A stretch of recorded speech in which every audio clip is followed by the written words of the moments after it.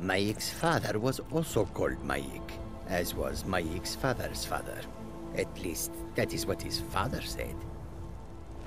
M'aiq wishes you well.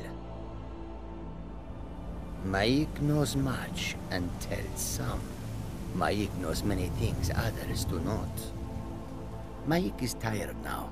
Go bother somebody else. M'aiq is done talking.